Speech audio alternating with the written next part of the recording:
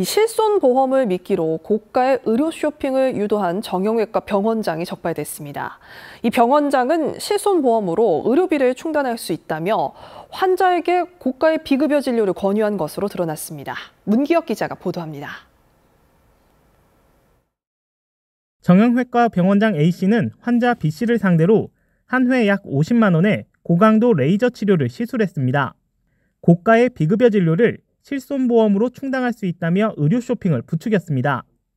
A씨는 실제로 환자가 최대한 많은 실손보험료를 받을 수 있도록 병원을 찾지 않은 날에도 진료를 받은 것처럼 허위 진료 기록을 발급했습니다. 하루 통원 보험금 한도인 20만 원에 맞춰 세 번으로 나눠 진료비 쪼개기를 한 겁니다. 금융감독원과 서울경찰청이 공조해 이런 진료비 쪼개기 수법을 이용한 보험 사기를 무더기로 적발했습니다. 병원장 A씨와 환자 등 321명을 보험 사기 방지 특별법 위반 등의 혐의로 검거했습니다.